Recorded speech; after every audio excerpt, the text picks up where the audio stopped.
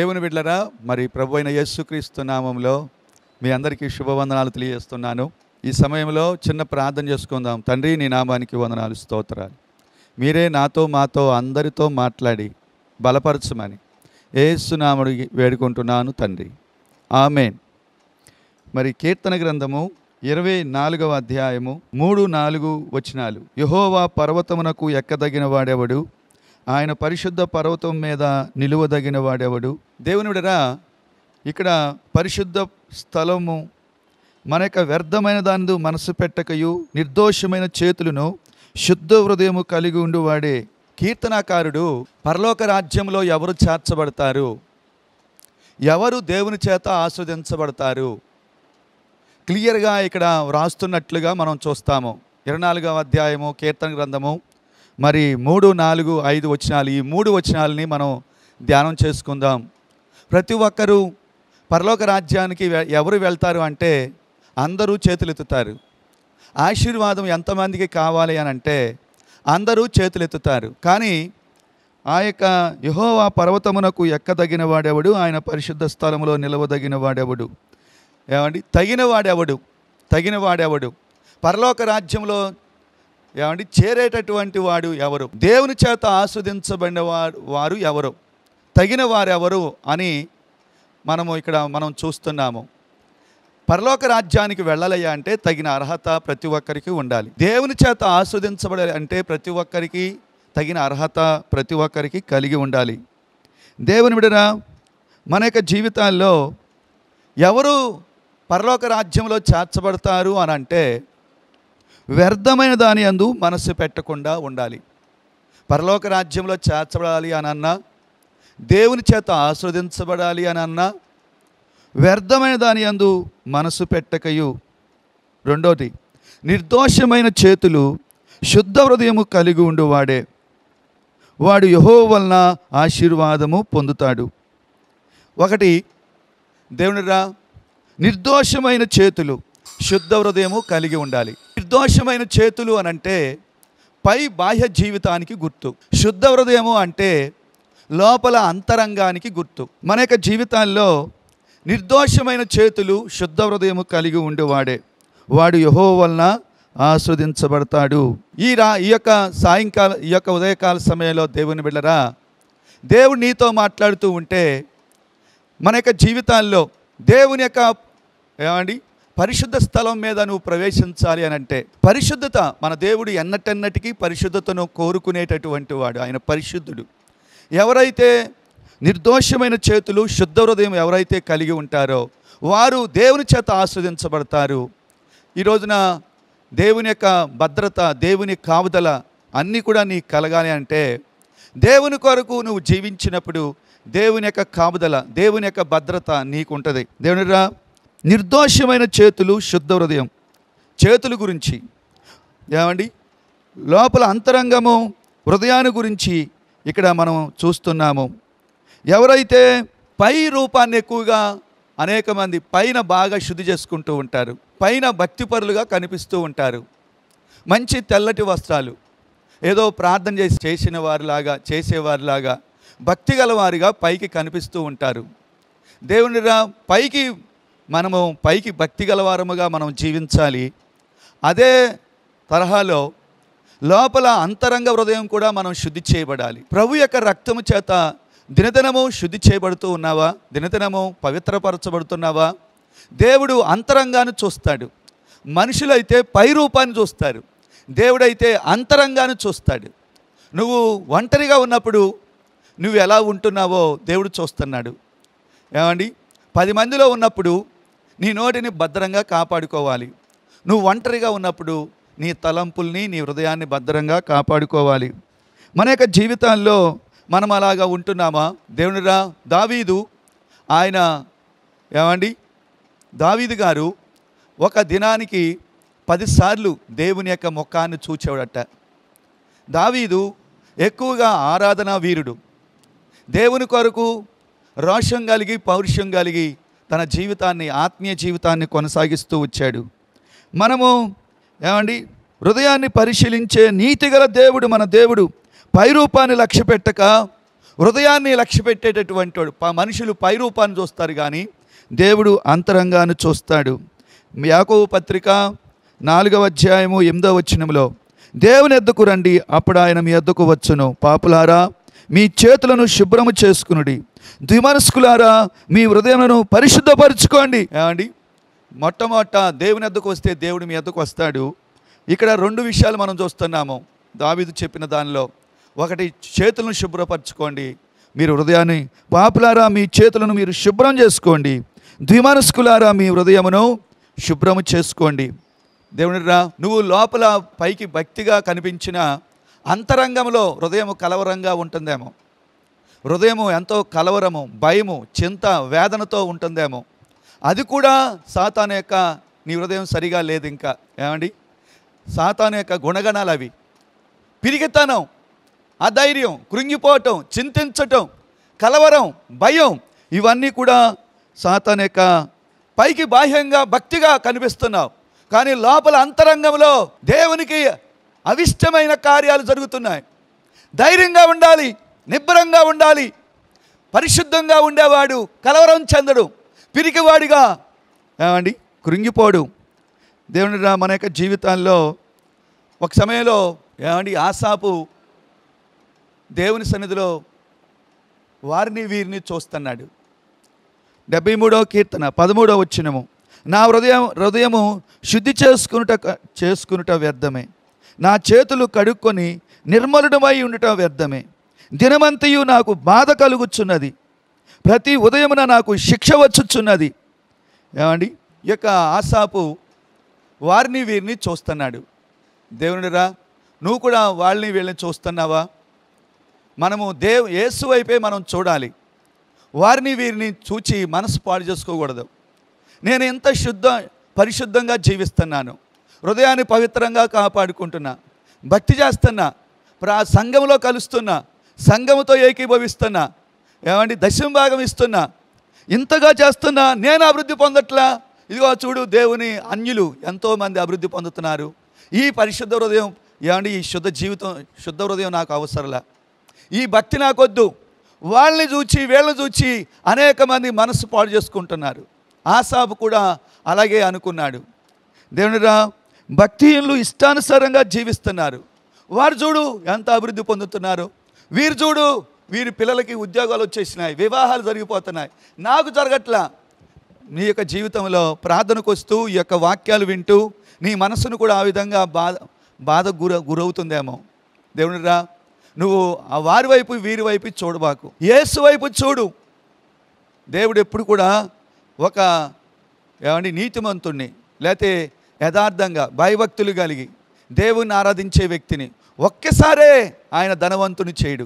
క్రమక్రమముగా క్రమక్రమముగా ఆయన ఆస్వాదిస్తాడు ఇస్సాకును ఇస్సాకుకు దేవుడు తోడై ఉన్నాడు. ఆ సంవత్సరం విత్తనం వేసి నూరంతల ఫలం పొందాడట నూరంతల ఫలం ఏమండి? అది కరువు దినాలు. అందరూ కరువులో ఉంటే ఇస్సాకు అరణ్యంలో విత్తనం వేస్తే దేవుడు నూరంతల ఫలం ఇచ్చాడు. ఎందుకయ్యా అంటే దేవుడు ఆయనకి తోడై ఉన్నాడు. దేవుడు ఆయన అభివృద్ధి పొందేంత వరకు క్రమక్రమముగా దేవుడు ఆయన్ని ఆస్వాదిస్తూ వచ్చాడట. మనము స్టెప్స్ ఏమండి? మనం మెట్లెక్కుతూ ఉంటాం నిదానంగా. మూడు అంతస్తులు రెండు అంతస్తులు ఏమండి? మనము ఒక మెట్టు తర్వాత ఇంకొక మెట్టు ఇంకో ఒక ఒక మెట్టు తర్వాత ఇంకొక మెట్టు. దేవుడు అలాగే ఎలిగి ఏమండి? ఎక్కిస్తాడు కానీ ఒకేసారి లిఫ్ట్ సిస్టమ్ లాగా ఒకసారే స్పీడ్గా ఒక వ్యక్తి పైకి వెళ్ళలేడు. అందుకే దేవుని బిడరా దేవుడు నువ్వు దేవుణ్ణి ఆరాధిస్తున్నావా? విశ్వాసం ఉంచుతున్నావా? నీతిగా యథార్థంగా భయభక్తులు కలిగి జీవిస్తున్నావా? దేవుని కొరకు ప్రార్థన చేస్తూ పరిశుద్ధంగా జీవిస్తున్నావా?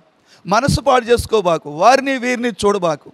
ఆశాపు కూడా నేను ఈ విధంగా శుద్ధంగా పరిశుద్ధంగా జీవించడం కూడా వ్యర్థమే. వాళ్ళు భక్తిహీనులుగా ఇష్టానుసారంగా వారు జీవిస్తున్నారు. వారు చూడు వారు ఎంత ఆస్వాదించబడుతున్నారో వారిని వీరిని చూచి మనసు పాడు చేసుకున్నాడు. నువ్వు కూడా ఆ విధంగా పాడు చేసుకోబాకు. దేవుడు తగిన సమయంలో దేవుడిని హెచ్చిస్తాడు. దేవుని మన యొక్క జీవితంలో ఆ యొక్క భక్తిహీనుడు చచ్చిపోతే ఏమండి? లో- అన్యులు క్షణములో వారు పాతానికి వెళ్ళిపోతారు. భక్తిహీనుడు అభివృద్ధి పొందినట్లుగానే ఉంటాడు. ఏమండి? కొద్ది కాలం అయిన తర్వాత వాళ్ళు కనిపించరు. వాళ్ళ యొక్క ఆస్తి కూడా కనిపించదు. మీరు గమనించరా? అభివృద్ధి పొందినట్లుగా కనిపిస్తూ ఉంటారు. ఆస్వాదించబడినట్టుగా కనిపిస్తారు. కానీ భక్తి భక్తి గల ఆశీర్ భక్తిగల వారి యొక్క ఆశీర్వాదం అటు నిలిచి ఉంటుంది. కానీ భక్తిహీనుల యొక్క ఏమండి? ఆ యొక్క ఆస్తి నిలవదు. వారి ఆశీర్వాదం నిలవదు. వారిని దేవుని బిడ్డరా మన యొక్క జీవితాల్లో మనము శాశ్వతమైన ఆశీర్వాదాన్ని మనం పొందుకుంటాము. ఇహలోకంలో నిదానంగా అభివృద్ధి పొందుతాము. రేపు ఒకవేళ ఈ లోకాన్ని విడిచిపెడితే మనము శాశ్వతమైన పరలోక రాజ్యంలో మనం చేర్చబడతాము. అది నిరీక్షణ ప్రతి ఒక్కరూ భక్తి గలవారు నిరీక్షించాలి. విశ్వాసముతో దేవుని కొరకు ఎదురు చూడాలి. దేవునిరా మనము మన యొక్క జీవితాల్లో శాశ్వతమైన కృపను జీవాన్ని ఆశీర్వాదాన్ని ఆయన ఇవ్వాలని కోరుకుంటున్నాడు. ఎదురు చూడు ఏమండి? వ్యర్థమైన దాని యందు మనసు పెట్టక అనే మాట. దేవుని సన్నిధిలో ప్రార్థనకు వస్తున్నావా? వ్యర్థమైన దాని యందు మనసు పెట్టొద్దు. నువ్వు ఏమండి? పరలోక రాజ్యాన్ని చేరుకోవాలి. రెండవది యహలోకములో నువ్వు ఆస్వాదించబడాలి. శాశ్వతమైన ఏమండి? ఆశీర్వాదాన్ని నువ్వు పొందుకోవాలి. పొందుకోవాలయ్యా అంటే వ్యర్థమైన దాని యందు మనసు పెట్టొద్దు. వ్యర్థము. ఏమండి? మీరు గమనించారా? దావీదు మంచి భక్తిపరుడు. ఒక దినానికి ఏడు సార్లు స్థుతించాడు ముమ్మారు ప్రార్థన చేశాడు. అలాంటి దావీదు తన యొక్క జీవితంలో ఏమండి? యుద్ధము జరుగుతూ ఉంది. యుద్ధము యుద్ధానికి వెళ్ళకుండా పైన మిద్దె మీద సాయంకాల సమయంలో తిరుగుతూ ఉండగా స్నానం చేస్తున్న ఒక స్త్రీని అతడు చూచాడు. ఒకటి చూచాడు. రెండవది ఆలోచించటం ప్రారంభించాడు. మూడవది మాట్లా మాట్లాడాడు. దేవుడిరా వ్యర్థమైన దాని మందు మనసు పెట్టగయు. ఒక పాపము చూపుల్లో ప్రారంభమవుద్ది. చూస్తూ ఆ చూపుల్లో లోనే నువ్వు తర్వాత జయం పొందటానికి క్రియ క్రియ దాకా వెళ్ళకూడదు. నాలుగవ స్టెప్ దాకా వెళ్ళకూడదు. నాలుగవ స్టెప్ ఏంటి అంటే ఒకటి చూచాడు. ఆయన తల తిప్పుకోవలసింది. నేను ఏమండి దేవుని యొక్క ఆజ్ఞ నేను మీరుతున్నాను కదా. నా కంటి నేను పవిత్రంగా కాపాడుకోవాలి కదా అని తను ఎంచుకోవాలి. వ్యర్థమైన దాని ఎందు మనసు పెట్టకయు. దేవుని బిడరా ఒకటి చూపులో ఏమండి? చూపుని జాగ్రత్తగా కాపాడుకోవాలి ఒక క్రైస్తవుడు. ఎట్లా పడితే అట్లా మన కంటిని వాడకూడదు. క్రియ దాకా వెళ్ళకూడదు. క్రియ ఏమండి? చూ చూస్తే చూచావు. వెంటనే మరలా క్రియ జరగకుండా మనం జాగ్రత్తగా కాపాడుకోవాలి. దేవునిరా రెండవ మాట ఆలోచనలోకి వెళ్ళిపోయాడు. భక్తియులు తమ మార్గాన్ని విడిచిపెట్టాలి దుష్టుడు తన తలంపుల్ని మానాలి. వ్యర్థమైన దాని యందు మనసు మనసు వచ్చేసింది. ఆలోచించటం ప్రారంభించాడు. ఆమె సౌందర్యంగా ఉన్నట్లుగా గుర్తించాడు. మనసులోకి వచ్చేసింది వర్ణించటం ప్రారంభించాడు. మూడవది ఆమెతో మాట్లాడటానికి తన దాసులను పంపించినట్లుగా మనం చూస్తాము. నాలుగవది స్టెప్ ఏంటి అంటే ఆమెతో పాపం చేశాడు. జరిగిన విషయం ఏంటయ్యా అంటే తాను రహస్యంగా చేశాడు కానీ దేవుడు చెప్పాడు నా తాను ప్రవక్తతో నా తాను ప్రవక్త ద్వారా బహిరంగంగా నేను నిన్ను శిక్ష విధిస్తా. దేవుడిరా ఎంతో శిక్షను అనుభవించాడు. తను పాపం చేయటాన్ని బట్టి ఒకటి వ్యర్థమైన దాన్ని చూడొద్దు. వ్యర్థమైన దాని దానిని ఆలోచించొద్దు. వ్యర్థమైన దానిని ఆలోచనలోనికి రానియకూడదు. వ్యర్థమైన మాటలు మాట్లాడకూడదు. క్రియ దాకా వెళ్ళకూడదు. క్రియ జరిగిందా? భయంకరమైన శాపాన్ని అనుభవిస్తావు. భయంకరమైన నష్టాన్ని నువ్వు పొందుతావు. దావీది యొక్క జీవితంలో ఏ పాపమైనా త్రాగుడైనా లేకపోతే వ్యభిచారమైనా ఏ పాపమైనా ఏమంటే క్రియారూపకంగా వెళ్ళకూడదు. క్రియలోకి వెళ్ళకుండానే నువ్వు జయించిన వ్యక్తివిగా ఉండాలి. అప్పుడే నువ్వు పరలోక రాజ్యంలో చేర్చబడతావు దేవుని చేత నువ్వు ఆస్వాదించబడతావు. దేవుడు పరిశుద్ధుడు. దేవుని బిడలు కూడా పరిశుద్ధతను విలువగా ఎంచి ఆయన పోలికగా మనం జీవించినప్పుడు ఏమండి? దేవుడు బలమైన కార్యాలు నీ ద్వారా జరిగిస్తాడు. దావిది చేసిన పాపాన్ని బట్టి ఒలివ పర్వతం మీద గట్ట ఒకరోజు ఒంటరి వాడై ఏడుస్తూ కాళ్ళకి చెప్పులు లేకుండా ఆహారం లేకుండా దిక్కుమారిన వాడిగా ఎక్కాడట. తమ తమ కుమారులు నలుగురు చనిపోయారు. దేవునుడిరా దేవుని నామాన్ని అవమానపరిచిన వాడయ్యాడు ఈ సమయంలో తర్వాత దావీద్ అన్నాడు అయ్యా నూట పంతొమ్మిదవ కీర్తన ముప్పై ఏడవ వచ్చినములో వ్యర్థమైన దానిని చూడకుండా నా కనులు తిప్పు ప్రభువ. మీరు గమనించారా? వ్యర్థమైన దాన్ని చూడకుండా నా కనులు నా కనుల ద్వారే నేను పాపాన్ని కోరి తెచ్చి పెట్టుకున్నా దండరా రెండో మాట నూట పంతొమ్మిది పదకొండు నీ ఎదుట పాపము చేయకున్నట్లు నా హృదయంలో నీ వాక్యము ఉంచుకొని ఉన్నాను. ఏమండి? ఒకటి కంటిని గురించి అతడు మాట్లాడిన మాట. ఏమండి? మన యొక్క జీవితాల్లో నోటి మాటల గురించి కూడా నేను రెండు మాటలు చెప్తాను. ఒకటి హృదయాలోచన ఆలోచనలు జాగ్రత్తగా కా ఆలోచనలో ఆలోచన రావటం తప్పు కాదు కానీ ఆలోచన అనుసరించి జీవించటం తప్పు. ఆలోచనలు వస్తూ ఉంటాయి. సాత ఏమండి? పైన పక్షులు వెళ్తూనే ఉంటాయి. వాటి యొక్క మార్గం అది. కానీ ఆ పక్షులు నీ మీద గూడి వాలి గూడి కట్టుకోకుండా జాగ్రత్త పడాలి. వ్యర్థమైన దాని మనసు పెట్టాడు దావీదు. నష్టపోయాడు. కాబట్టే మనసు మనసును జాగ్రత్తగా కాపాడుకోవాలి. మూడవది ఏంటయ్యా అంటే మాటలు. మీరు గమనించరా? మాట. మత్తయి వార్త ఆరవ అధ్యాయం ఏడవ వచ్చినములో వ్యర్థమైన మాటలు వచించవద్దు. మీరు గమనించారా? విస్తరించి మాట్లాడకూడదు. బూతులైనా సరస్వక్తులైనా నీ నోటికి రాకూడదు. రా వచ్చినప్పుడు నీ జీవితంలో ఎంతగానో నష్టపోతావు అనే మాట నేను చెప్తున్నాను. మాటలు. ఈరోజు నా మాటలది ఏముందిలే అంటూ అనుకుంటూ ఉంటారు. నాలుగు నాలుగు నలుగురు కూర్చుంటే వాళ్ళ గురించి ఏళ్ళ గురించి ఏళ్ళ గురించి మాట్లాడుతూ ఉంటారు. వారి యొక్క బలహీనతలు వేరే యొక్క బలహీనతలు. వ్యర్థమైన సంభాషణ వ్యర్థమైన మాటలు. మతీసు వార్త పన్నెండవ అధ్యాయం ముప్పై ఆరో వచ్చినంలో మనుషులు మనుషులు పలుకు వ్యర్థమైన ప్రతి మాట వలన విమర్శ దినమున లెక్క చెప్పాలట. అమ్మో ఏమండి? మాటలు మాట్లాడితేనే అంత భయంకరమైన తీర్పున్నట్లుగా వ్యర్థమైన ఏమండి? మనుషులు పలుకు ప్రతి వ్యర్థమైన ప్రతి మాటను గురించి విమర్శ మందు లెక్కప్ప చెప్పాలి. నీ నోటిని పవిత్రంగా కాపాడుకోవాలి. వ్యర్థమైన దాన్ని మాట్లాడకూడదు. వ్యర్థమైన దాన్ని చూడకూడదు. వ్యర్థమైన దాన్ని తలంచకూడదు. వ్యర్థమైన దాన్ని మాట్లాడకూడదు. యోబు గారు కూడా ఒక చక్కటి మాట అంటాడు. పాపము ముప్పై ఒకటవ అధ్యాయము యోబు గ్రంథం ముప్పై వచనములో పాపము చేయుటకు నా నోటి నా నోటికి నేను చోటియ్యలేదు పాపము చేయుటకు నా నోటికి నేను చోటియ్యలేదు అనే మాట. అమ్మా ఎంత గొప్పగా తన యొక్క నోటిని కాపాడుకున్నాడు. యోబు కంటిని కాపాడుకున్నాడు. యోబు నోటిని కాపాడుకున్నాడు.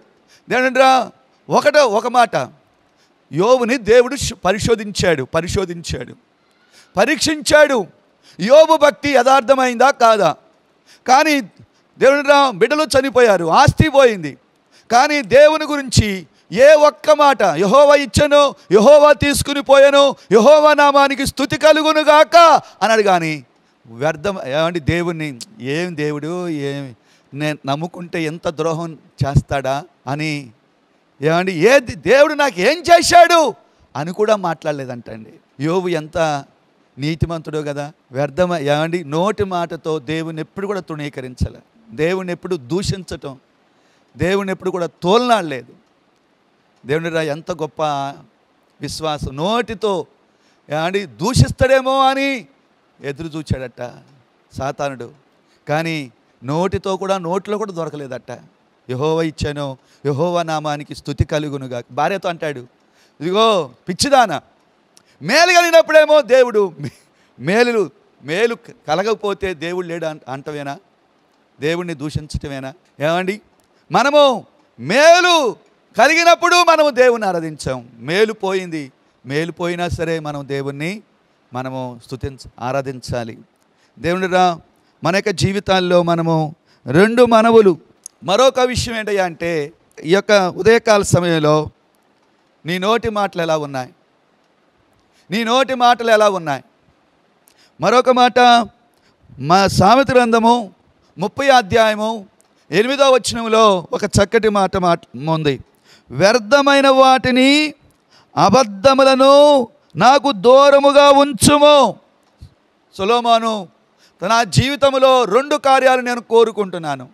వ్యర్థమైన వాటిని అబద్ధములు నాకు దూరముగా ఉంచు. నా జీవితంలోనికి రానియకూడదు ప్రభు అని తన జీవితంలో కోరుకున్నాడు ప్రార్థించాడట. దేవుని రా వ్యర్థమైన వాటిని అబద్ధాలు నా జీవితంలో రాకూడదు ప్రభు. ఎంతమంది కోరుకుంటున్నారు? కాబట్టి మన జీవితాన్ని మనము సరి చేసుకోవాలి. నువ్వు పరలోక రాజ్యంలో చేర్చబడాలి. రెండవది దేవుని చేత నువ్వు ఆస్వాదించబడాలి. దేవుని చేత నువ్వు ఆస్వాదించబడాలి.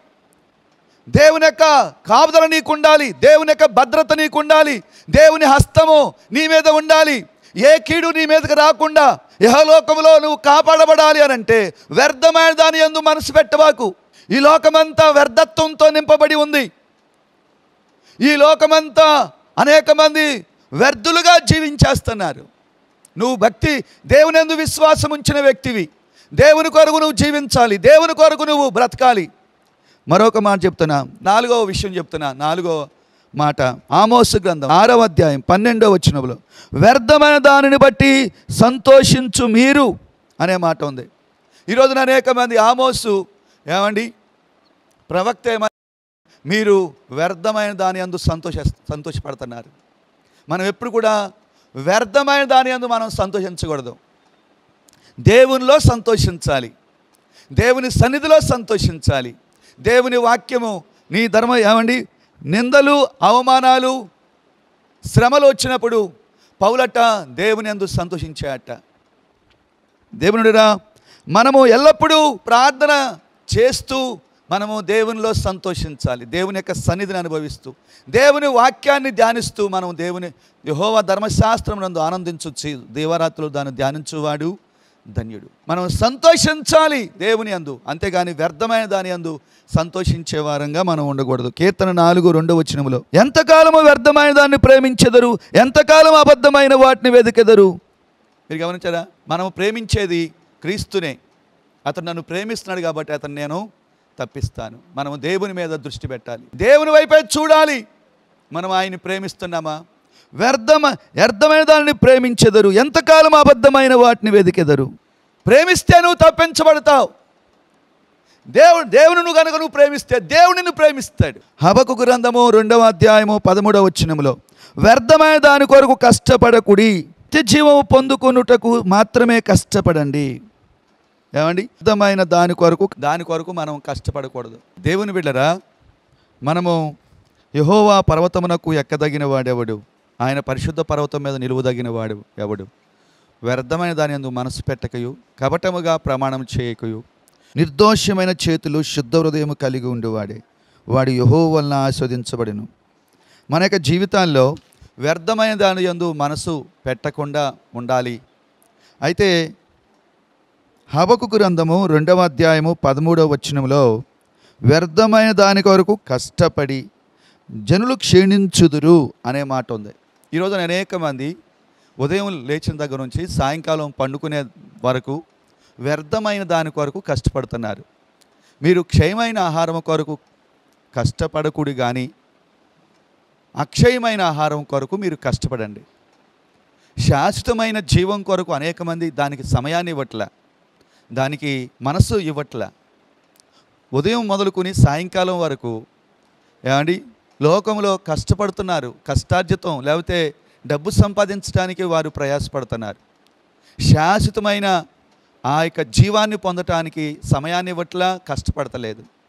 అక్షయమైన ఆహారం కొరకు మీరు కష్టపడండి. క్షయమైపోయే ఆహారం కొరకు మీరు కష్టపడొద్దు. దేవుని బిడ్డరా వ్యర్థమైన దాన్ని మనం కోరుకుంటున్నాము. వ్యర్థమైన దాన్ని మనం సంపాదించుకుంటున్నాము. మరొక మాట ఒకడు సర్వలోకమును సంపాదించుకుని తన ప్రాణం పోగొట్టుకుంటే అతనికి ఏం ప్రయోజనం? ధనవంతుడున్నాడు. ఏమండి? లోకాన్నే సంపాదించేసుకున్నాడు. కానీ లాజరున్నాడు లాజరున్నాడు పేదవాడిగా ఉన్న ఆహారాన్ని. తనకి సరైన ఆహారం లేదు. సరైన వస్త్రాలు లేవు. సరైన ఆరోగ్యం లేదు. అయినా విశ్వాసంతో దేవుని కొరకు జీవించాడు. ఏమండి? క్షయమైపోయే దాని కొరకు కోరుకోలా. అక్షయమైన వాటి కొరకు ప్రయాసపడ్డాడు లాజరు. దేవుని యొక్క దూతలు వచ్చారు ఆయన తీసుకుని వెళ్ళటానికి. మన జీవితాల్లో మనము లాజర్లాగా ఉండాలి కానీ ధనవంతుల్లాగా మనం ఉండకూడదు. సామెత గ్రంథము పన్నెండవ అధ్యాయము పదకొండవ వచనములో తన భూమిని సేద్యపరుచుకుని వానికి ఆహారము సమృద్ధిగా కలుగును. తన భూమిని సేద్యపరుచుకుని వానికి సమృద్ధిగా వ్యర్థమైన వాటిని అనుసరించువాడు బుద్ధి లేనివాడు వ్యర్థమైన దాన్ని అనుసరించేవాడు. వ్యర్థమైన క్రియలు కలిగి ఉండేవాడు. అనుసరించేవాడు క్రియ కలిగి ఉండేవాడు. వ్యర్థమైన దాన్ని వ్యర్థమైన పనులు చేసేవాడు. బుద్ధి లేనివాడు వ్యర్థమైన దాని అందు మనసు పెట్టకుండా మన జీవితాన్ని మనం కాపాడుకోవాలి. ఎందుకంటే లోకము బహు భయంకరంగా ఉంది. అపాయకరమైన దినాల్లో ఉన్నాం. ఏ క్షణంలో ఏం జరగబోతుందో తెలియట్లేదు. ఈ జీవితం శాశ్వతమైంది కాదు. ఈ జీవితం ఎప్పుడు ముగించబడుతుందో తెలియదు ప్రభు రాకడ దినాల్లో ఉన్నాం. ఈ యొక్క కరోనా అండి భయములో మనం కొనసాగుతున్నాం. దేవుని భద్రత దేవుని కాపుదల మనందరికీ కలుగునుగాక ప్రార్థన చేద్దాం. తండ్రి నీ నామానికి వందనాలు స్తోత్రాలు. తండ్రి ఈ యొక్క ఉదయకాల సమయంలో నీ బిడ్డలు నీ వాక్యాన్ని వింటూ ఉండగా వారందరినీ మీరు బలపరచు. ఎందరైతే ఈ వాక్యాన్ని విన్నారో వారందరికీ గొప్ప మేలు దీవెన కలుగునుగాక. ఓ ప్రవ్వా నీ రాజ్యంలో ప్రతి ఒక్కరూ చేర్చబడాలి. నీ అందు వారు విశ్వాసం ఉంచాలి. నీ కొరకు వారు ప్రతిష్ఠించుకోవాలి. అలాగే వ్యర్థమైన వాటి అందు మనసు పెట్టక నాయన వారి యొక్క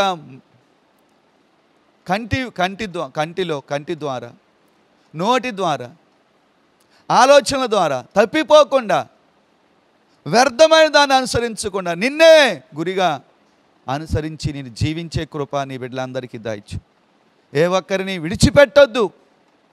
ఈ యొక్క టీవీ కార్యక్రమము ఈ టీవీ పరిచర్య వ్యర్థము కానివద్దు అనేక మందికి మేలుకరంగా చేయి నాయన. నీ రాజ్యంలో చేర్చబడాలి. ప్రతి ఒక్కరూ ఆస్వాదించబడాలి. గర్భఫలము లేని బిడ్డలకు గర్భఫలాలు దాచి వివాహం కాని బిడ్డలకు వివాహాలు ఉద్యోగం లేని బిడ్డలకు ఉద్యోగాలు ఆరోగ్యము లేని బిడ్డలకు ఆరోగ్యము యేసు నామములో కలుగునుగాక. ఎంతోమంది అప్పుల సమస్యతో పీడించబడుతున్నారు. వారి అప్పులు తీర్చబడునుగాక. మీరే గొప్ప కార్యాలు. ప్రతి ఒక్కరి జీవితాల్లో మీరు జరిగించి నీ నామానికి మాయం తెచ్చుకోనమని ఏసు నామమును అడిగి వేడుకుంటున్నాను తండ్రి.